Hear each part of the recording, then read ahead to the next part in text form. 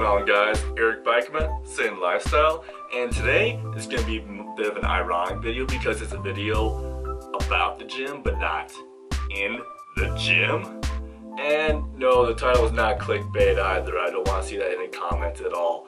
Yes, cardio does help you equal gains. And this is actually a lesson that I had to learn the hard way. Like most lessons in my life, I've had to learn all of them the hard way. And Yes, cardio will help you equal gains, and in this video I'm going to share with you the reason why that is. So let's begin when I first started lifting. When I first started lifting, I wanted to get big. My main goal was to build muscle, look big, and strong, like those guys I saw on the cover of Muscle Fitness magazine. And so the last thing on my radar was going to be cardio, because I figured that cardio was reserved for the skinny distance runners right here that have they don't look like they have a single ounce of bone on their bodies. I want to look like the guy right here who's built, who looks strong, and has a lot of muscle on him. I firmly believe that cardio would lead you to the skinny guy right here. I did not think it would help at all. So I wasn't doing any cardio. I was just lifting all the time. And as a beginner, I wasn't really lifting heavy enough weights to actually challenge my cardiovascular system, which I'm gonna start saying CVS for short. If I ever use a kinesiology term you don't know, let me know in the comments below. And so as I first started lifting, like I said, I wasn't exactly lifting really heavy weights. As most beginners cannot lift heavy weights unless they're just naturally gifted like that. I only know of one guy who's naturally gifted like that. And if you're watching this video, yeah, I'm talking about you, Kyler. So at college, when I really started hitting the weights a lot because the gym was free with my full-time student status, all I needed to do was just give them my ID at the counter and I was free to go work out. So I'd get in there, pump some iron. Yeah, not didn't really work legs all that much, but that's a different video. And I would just lift really hard and I'd come back, feel great.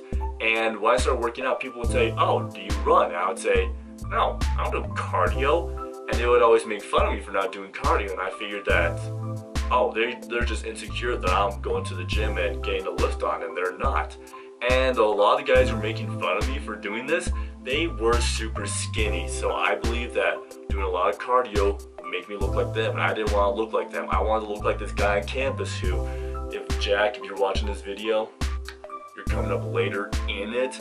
I wanted to look like him. He was like the biggest guy on campus, so of course I wanted to look like him. I wanted to build that kind of muscle. Even though, if you can tell, I didn't exactly build that much muscle, but that's that's all due to genetics and body type. And another video too, as I started lifting more and more, like as I got more like stronger and stronger, yeah, I started to be able to tell a little bit of a difference that I wasn't able to do nearly as much as I've been able to do and I just attributed that to my body adjusting to this. And after my, my second year of lifting, well, I got on the Wendler 531 program, which if any of you want a great beginner program that help develop, that help develop, uh, click a like for every time you laugh at me messing up, like losing my train of thought. I'm gonna reach probably 500,000 before like three months after this video is released. And the Wendler 531 program, I I highly recommend it for any beginner that really wants to build up muscle and strength and get really good at the compound lifts. And especially lifts that are really going to help you in the four big lifts like squat, bench press, deadlift, overhead press. And I have a few other big lifts, but those were all lifts incorporated into the system. And anyway, so the system talked a lot about the cardio that he does to help his lifts. And I figured, I don't need to do cardio, so I just skipped those days, use them as extra rest days. And after a while, yeah, like, I mean, I was lifting good weights, but I didn't really think that I didn't do cardio wouldn't affect me like it did. I think that must have been three or okay, let's say in college I changed my major from history to kinesiology. Yeah, you don't see me as being history major, but I actually really love history. That's a fun fact about me. I quickly learned I cannot read or write that much, so I switched to kinesiology. And I had this class for my major called the cardio assessment course, and that's where I really learned just how out of shape I was. We to do a 12 minute run test, and I think my VO2 max, and VO2 max is how much oxygen your body takes in per breath, how much it can hold and how much it can pump through your body. I think I hit the fair category. I'm going, really? I'm lifting all this weight I'm only fair? So I had a couple laps on so I didn't look as bad for our professor. But you could definitely tell the difference in these classes when I was doing these workouts, leading them or being the one put in them. I was just, I was struggling to keep up with, everyone else. Like I was always so out of breath and also at that time I was going through a horrific two month cold that was just destroying me. And I just, it was a bad combination. I couldn't ever breathe. I was just like, I thought I was gonna die. And then fast forward to about my third year of lifting, that's when I really began to feel its effects. I was not able to lift as much as I want to. I was just like, I was just huffing and puffing after like three reps. I'm going, this shouldn't be happening. Like, I can lift all this weights. Like, what is going on? And then I remember when I was watching a video by Callum von Moger, that famous bodybuilder, that he talked about how much cardio really does help him like stay in shape and like compete in these shows. I'm going, okay, if this big dude does cardio, he must just be an anomaly. And I was talking with the guy I knew, who I mentioned, Jack, you're coming up now, that I was talking with him about like how he got so big and like how does he lift so much weight while I'm so out of breath. And he told me that he actually runs three miles a night. And I'm going, this big dude runs three miles a night? And he said that yeah, like cardio has really helped his cardiovascular system keep up with his strength gains. And then another big guy I know of, he was a swimmer and I'm going, a big swimmer? Wait, what? And he does cardio? So I decided to look into this a little bit. And that's where I found my favorite type of cardio, which is LISS. And I'll go into that later in the video. And I decided, you know what? I'm gonna give this a try for about a month or two. If it doesn't work out, if I don't improve, I'll scrap the idea. And so when I first started doing LISS, I think I was on the stationary bike. No, I was on a stationary bike. I was doing level three. Well, I guess what my heart rate was at? 160. And I'm going, what is going on? Like, I should not be this out of shape. So I had to lower it down to like level two to get it down to 140, 150. But the one thing I found out that I really liked about this LISS is that I felt so good after the workout. Like I could take a deep breath, I could breathe, I could take air in. I wasn't out of breath walking up a flight of stairs like I had been before. I decided, yeah, I decided that you know what, this might actually have some merit to it. And after three months, I saw the massive change in my body. I could actually push through the reps I had previously never been able to go through, and I was actually able to breathe more efficiently. I could take in more oxygen. And now I'm going to explain this whole story to you in some detail. Okay, now that I've explained to you my story on why doing cardio is so good for muscle gain, now let me explain to you some things behind that story. The first thing is, let me explain to you what the cardiovascular system is. Now this is the heart, the lungs, arteries, vessels, capillaries, and everything that's meant to deliver oxygen to the body. This is one of the main powerhouses of the body. And pumping blood to the entire body is kind of a big task and it's super important. And the reason why cardio is so good for this is because it helps you build up the strength of your heart. It makes your heart just be like, able to beat more rapidly, strong, not rapidly, helps your heart beat stronger and more efficiently. And also, at least if you do the low intensity, it helps expand the vessels so you can get more blood through there. And you'll also be able to take in more oxygen because you could put yeah, because you're putting a greater demand on your body for this. And so when you're working out, you're lifting weights or doing whatever, when you start breathing harder, that's actually your body's natural response. Your cardiovascular system working harder so it can help power the body, so it can deliver oxygen to the muscles.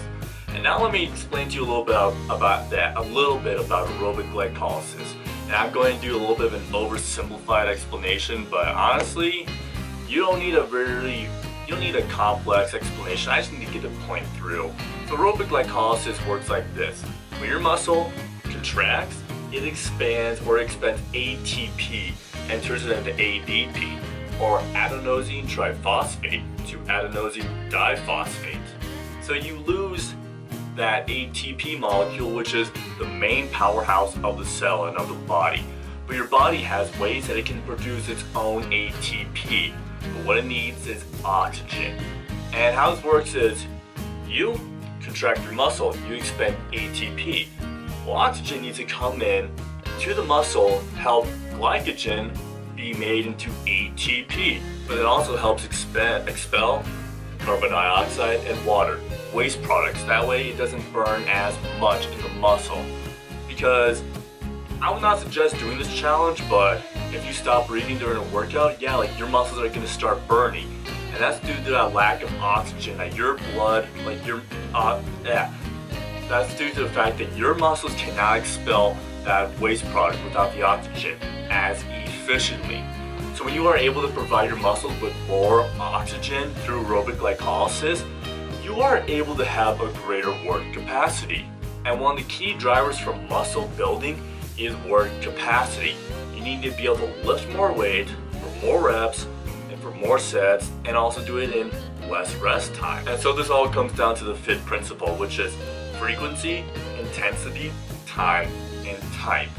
So if you have a much more efficient cardiovascular system, you're able to work out more, meaning damage your muscles more and be able to build it up more. And with this is basically volume, and volume is another key driver of muscle building.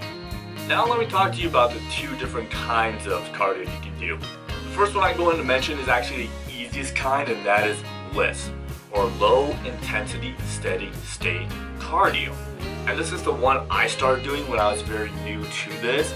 And this is the one that I highly recommend most for beginners since you're not, you don't have as great of a work capacity as someone who is highly trained and you're just not able to push as hard. What low intensity steady state cardio is, is you pick a low intensity to go at and you go at that for about 20 30 minutes, anywhere between that for beginners or those who are very deconditioned. I would recommend only doing about 10 or 20, 10 to 15 minutes at a time, about three days a week. And what you're going to do is you're going to find a low intensity where your heart rate is about, I'd say, for deconditioned individuals, 40 to 60% of your max heart rate. And how you find your max heart rate is you take 220 minus your age equals your max heart rate. And from there, you're going to multiply whatever that number is by the intensity that you need, and that's the heart rate you need to be at for low intensity steady state. And for those of us who are more conditioned, we can get up to about 60 to 80% of our max heart rate. I know there's heart rate reserve, but I think that formula is way more complicated than you need to have. And just all the numbers in there are way too confusing for most people. And with this, you can honestly do this cardio about four to five times a week. For me, I did this because, and I still do this because I lift really heavy so I don't want my cardio to sap a lot of energy from me, which is what the other one will do. And well, I also started doing this one when I first got into cardio because I was lifting really heavy weights and I, I was also the idiot who tried to do high intensity training four or five days a week and still lift heavy. Your CNS cannot heal from that. Unless you are on gear, you are not going to be able to do that.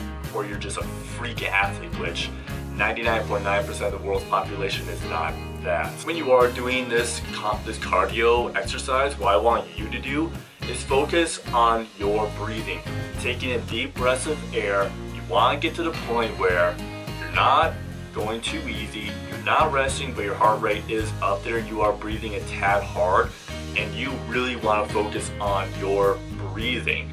And you want to keep that intensity level for, like I said, if you're a beginner, at least try to get to 20 minutes, 15 to 20 minutes of this will still be beneficial. And why is this cardio so beneficial? It is great for you because it allows the heart to work at a greater than normal capacity and it also forces the blood vessels to expand to allow more blood to come in and also allows like helps your lungs like it will your lungs will expand over time to take in more oxygen It will get your body to take in more oxygen to fulfill that energy that demand, that deficit of oxygen. And the basic principle of this workout is, is trying to get your heart used to a greater workload so you are more conditioned. Now the second type of cardio or point number four is high intensity interval training. And now this is one that I do not recommend for beginners or novice, uh, novice lifters at all. This one puts a great or large demand on your body, especially your central nervous system, because what it is is it involves periods where you go all out as hard as you possibly can, and then you rest for twice as long as you work. You always want to keep the ratio 1 to 2, so if I do 20 seconds of all out work, I need to rest for 40 seconds. Or if I do it for 30 seconds, I need to rest for a minute. And this one, like I said, I do not recommend for beginners or those who are previously like sedentary or deconditioned because this could cause problems for you. And I would say I reserve this for more people who have been lifting for at least four or five years. I'll use this every so often when I need to give myself a kick butt. And why this is such a great tool for cardio is because if you're getting bored with your normal cardio routine, like I do occasionally, this is such a great way to spice things up but it also helps build the strength of your heart because you go all out, your heart needs to suddenly start pumping more to satisfy that oxygen demand. And because of that, because of that short period of work, your heart gets stronger. It may not get bigger, but it will get stronger. It'll be able to pump more blood more forcefully over time. And it can also just be a determinant of how in shape you are like if you go all out and your heart rate is up to 180, you can watch how slowly or how fast it falls and that determines how great of in shape you really are. And this is one, like another great reason why it's such a great way to get your cardio in is because if you're trying to lose weight, this is really good for you because it's actually been shown that high intensity training burns more calories over 48 hours than low intensity does. Because low intensity, when you're doing it, it literally just burns the calories for that set amount of time. Whereas high intensity, your body's had this oh crap response that I need to heal myself, so it burns more calories over time. But we're not talking about weight loss, we're talking about why this helps you get in shape. And the reason why HIT works is because it really puts that large work capacity on you. But you are gonna have to take a lot of time to heal from this. I would say use this one very, very sparingly. Do not be an idiot like I was and try to do this four to five times a week because you're not gonna be able to do that. And so by forcing your heart to work that much harder for a short amount of time, you are increasing the overall strength of your heart how much. Now my cardio recommendations for you if you are trying to build muscle is, especially if you're trying to bulk or put on muscle, I would say do not do interval training. Leave that for when you are trying to shred and you're not worried so much about how much weight you are lifting because it's going to take a great toll on your central nervous system. My suggestion to you would be try to do at least four to five cardio sessions or LISS sessions a week for those of us who have been working out for about two or three years consistently, for those of us who are under a year or who have been inconsistent or are just pretty sedentary individuals before this, I recommend you only do this about three times a week. And that's going to be more, that's going to be definitely plenty for you to reap these benefits. For those of us who are more conditioned, I would suggest doing, like I said, four LISS sessions a week and then one hit session. You can do two if you're really crazy, but I only do one because that's enough to kick me in the butt and really get me working. So I'm hoping you all enjoyed this video. If you did, smash that like button, comment any topics you want me to cover in a future video down below. As always, subscribe for more content coming soon.